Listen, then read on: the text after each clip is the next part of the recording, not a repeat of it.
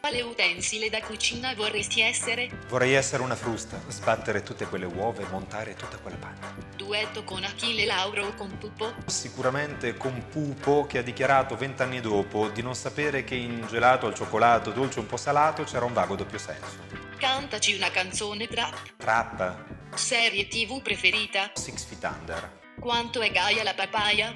Dovremmo stabilire l'unità di misura della gaiezza della papaya, però direi 350 gaioni. Puoi rubare un attributo fisico a Roberto Bolle. La capienza del culo, cioè il culo.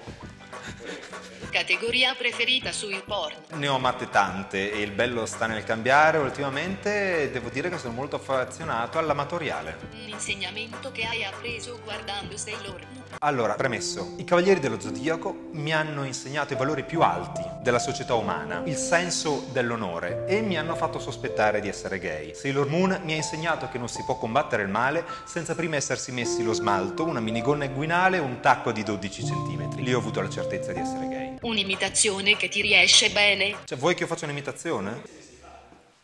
Accidenti. Bambola, Valeria Marini, mm, la prima volta in cui viene violata analmente. Mi stai facendo paura.